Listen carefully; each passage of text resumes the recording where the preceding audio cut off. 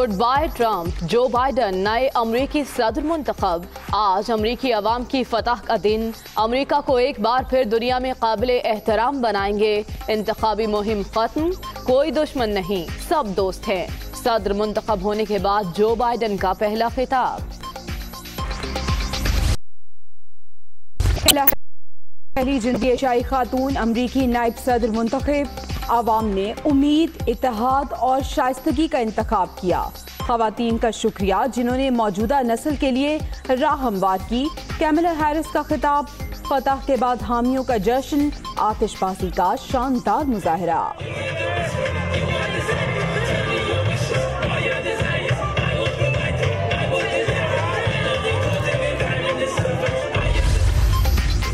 आलमी रहनुमाओं के जो बाइडन को मुबारकबाद के पैगाम वज़ीर आज़म आज़म के नौमंतखब अमरीकी सदर और नायब सदर को मुबारकबाद। जो बाइडन के साथ मिलकर लुटेरों की चोरी खत्म करने के लिए काम करेंगे, अफ़गानिस्तान और खत्े में अमन के लिए मुश्तर कोशिशें जारी रहेंगी, इमरान खान।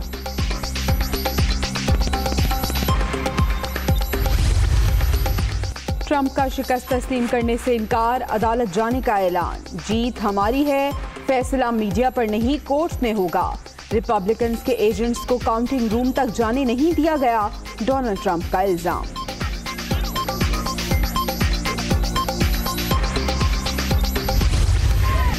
धांधली मंजूर नहीं। जो बाइडन की जीत के बाद ट्रंप के हामी सड़कों पर इलेक्शन चोरी करना बंद करो के नारे। मुजाहरीन के इंतबात के दौरान बेजाब्तियों के इल्ज़ाम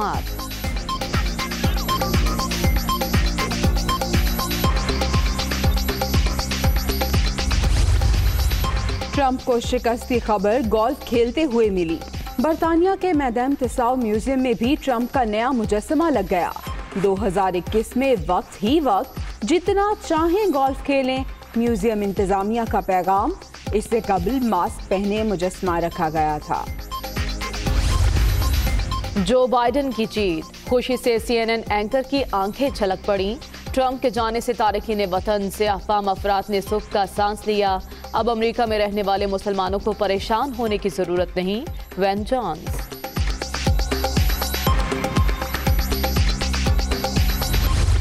कोरोना की दूसरी लहर में तेज़ी, मजीद 25 अफराद जाम बहाक। अब तक छह हज़ार नौ सौ सड़सठ अमरात। मुल्क वायरस से तीन लाख तैंतालीस हज़ार एक सौ नवासी शहरी मुतासर। चौबीस घंटे में एक हज़ार चार सौ छत्तीस नए मरीज़। मुल्क भर में एक्टिव केसेस की तादाद सत्रह हज़ार आठ सौ चार हो गई। नवाज़ शरीफ बाहर बैठकर फौज को बगावत पर उकसा रहे हैं। मीर जाफ़र और मीर सादिक को कानून की गिरफ्त में लाएँगे। तीस साल मुल्क लूटने वालों ने सर्कस लगा लिया। पीडीएम वाले जितने मर्ज़ी जल से कर लें, किसी को मुआफी नहीं मिलेगी वज़ीर आज़म अमेरिका में ट्रंप चला गया। अब ट्रंप जूनियर की बारी है। पाकिस्तान में जल्द नए इलेक्शन होंगे।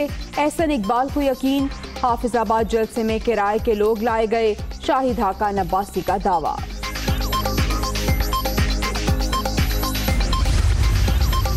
तब्दीली सरकार की रुखसती करीब है। गिलगित बल्तिस्तान के नौजवानों को रोज़गार की फराहमी मंशूर की बुनियाद।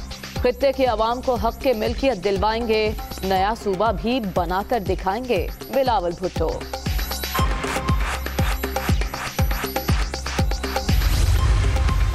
कोहाट के इलाके कागजई में शादी की तकरीब के दौरान गोलियाँ चल गईं पाँच अफराद जाँ बहाक तीन जख्मी, फायरिंग करने वाले दो मुलजिम गिरफ़्तार।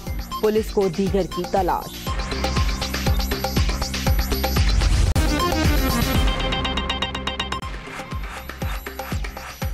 अस्सलाम मैं हूँ जवेरिया जैद। और मैं हूँ मरियम जीशान। हेडलाइंस आपने जानी खबरों की तफसीलात इस ब्रेक के बाद।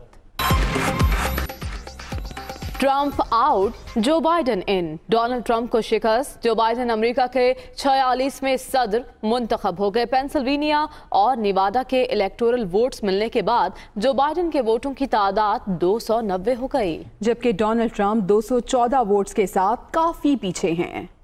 के तारीखी नतज का फैसला, जो बाइडन ने इंतबी मार्का सर कर लिया। अमरीकी मीडिया के मुताबिक, बाइडन ने पेंसिल्वेनिया के 20 और नेवाडा के 6 इलेक्टोरल वोट जीत कर सादा अक्सरियत हासिल कर ली। सदर बनने के लिए बाइडन को 270 वोट दरकार थे। फतह पाने के बाद डेमोक्रेटिक उम्मीदवार ने ट्वीट किया कि मेरे लिए एजाज की बात है कि अमरीकियों ने अजीम मुल्क की क्यादत के लिए मुंतखब किया। हमारा रास्ता कठिन होगा, अपनी कौम के एतमाद पर पूरा उतरूँगा। डोनाल्ड ट्रंप ने नतज मानने से इनकार कर दिया। कहते हैं, बाइडन झूठी फतह का दावा कर रहे हैं, जिसमें मीडिया भी उनका साथ दे रहा है। उन्होंने इल्ज़ाम आयद किया कि सच छुपाया जा रहा है। इलेक्शन अभी खत्म नहीं हुआ। पीर से कानूनी चाराजोई का आगाज़ करने की धमकी भी दी। जो बाइडन की फतह के ऐलान के बाद डेमोक्रेट्स के हामी बड़ी तादाद में सड़कों पर निकल आए। हर तरफ़ जश्न का समा है।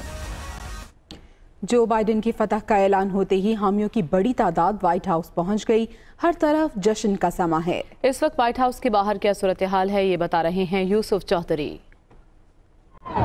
जी मैं इस वक्त मौजूद हूँ व्हाइट हाउस के सामने जहाँ जो बाइडेन की फतह का ऐलान होते ही हज़ारों की तादाद में आवाम जो है अमरीकी शहरी जो है यहाँ जमा होने शुरू साइड पे दिखा सकें कि यहाँ पे लाखों की तादाद में एक बहुत बड़ा मजमा जो है वो आवाम का जश्न मना रहा है और जो बाइडन की फतह को वो इंजॉय कर रहे हैं, नौजवान म्यूज़िक पे रक्स कर रहे हैं, नारे लगाए जा रहे हैं। अमेरिका की इतिहाद के लिए, अमेरिका के इतिहाद के लिए बात की जा रही है। आइए हम यहाँ पे किससे बात करते हैं? यहाँ पे बहुत से लोग जो हैं मौजूद हैं। आपसे कुछ देर पहले जो बाइडन ने यहाँ पे तकरीर भी की है अपनी फतह के हवाले से। जितनी भी डिस्क्रिमिनेशन वगैरह की प्रॉब्लम्स थी अकलीतों के हवाले से वो इंतहाई खुश हैं आज। खूब जश्न मनाया जा रहा है। वाइट हाउस के सामने। जी। जीत की खबर सुनते ही नौ मुंतब अमरीकी नायब सदर कमला हैरिस की खुशी का ठिकाना न रहा जो बाइडन को फ़ोन करके खुशखबरी सुनाने की वीडियो मंजर आम पर आ गई We did it. We did it, Joe. You're going to be the next president of the United States.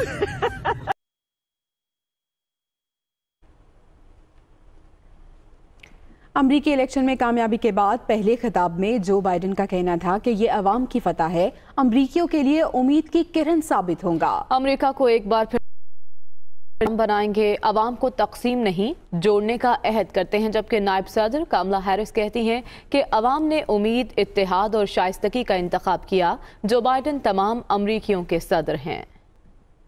The people of this nation have spoken. They've delivered us a clear victory, a convincing victory, a victory for we the people. We've won with the most votes ever cast on presidential ticket in the history of the nation. 74 million. We're seeing all over this nation, all cities and all parts of the country, indeed across the world, an outpouring of joy, of hope, renewed faith in tomorrow, bring a better day. I pledge to be a president who seeks not to divide, but unify, who, who doesn't see red states and blue states, only sees the United States. I sought this office to restore the soul of America, to rebuild the backbone of this nation, the middle class, and to make America respected around the world again. The world watching, you ushered in a new day for America. Protecting our democracy takes struggle, it takes sacrifice, but there is joy in it, and there is progress. Because we, the people, have the power to build a better future. And you delivered a clear message. You chose hope and unity, decency, science, and yes, truth. अमरीकी election जीतने पर वज़ीर आज़म इमरान खान ने जो Biden को मुबारकबाद दी उन्होंने कहा कि टैक्स चोरी के खात्मे और मुल्क की दौलत लूटने वालों के खिलाफ मिलकर काम करेंगे समाजी रबते की वेबसाइट ट्विटर पर वज़ीर आज़म इमरान खान ने अमरीकी सदारती इलेक्शन में कामयाबी पर जो बाइडन और कैमला हैरिस को मुबारकबाद दी। उनका कहना था कि नौ मंतखब अमरीकी सदर की जानब से जमहूरीत पर आलमी सरबराही समिट का मंतजर हूँ। करप्ट लीडरों की गैर कानूनी टैक्स पनागाहों के खात्मे और मुल्की दौलत की चोरी को ख़त्म करने के लिए भी साथ मिलकर काम करना चाहते हैं। नामुंतखब अमरीकी सदर जो बाइडन के पाकिस्तान से बेहतर ताल्लुक रह चुके हैं, उन्हें 2008 में आला सिविल अवार्ड हिलाल पाकिस्तान से भी नवाजा जा चुका है। अमरीकी तजियाकारों की राय में बाइडन के सदर बनने से अमरीका और पाकिस्तान के दरीना सिफारती ताल्लुक बहाल हो जाएँगे।